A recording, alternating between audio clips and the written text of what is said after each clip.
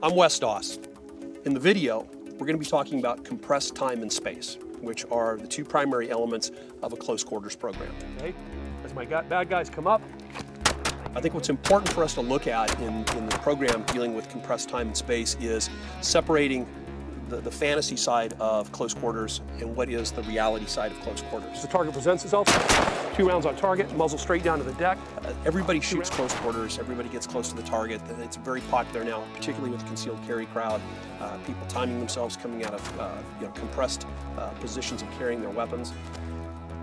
But what we're forgetting many times is the spontaneity of a real world situation. And that's what we want to try and incorporate in the training, is that when these situations occur, we don't know they're getting ready to happen uh, many times. Many times when an assault is perpetrated against us, it's, it's done to the advantage of the perpetrator, not done to the advantage of the, of the weapons holder.